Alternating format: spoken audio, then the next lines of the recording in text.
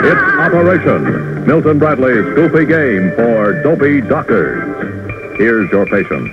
You take a card. Remove funny bone. Careful, if you touch the sides.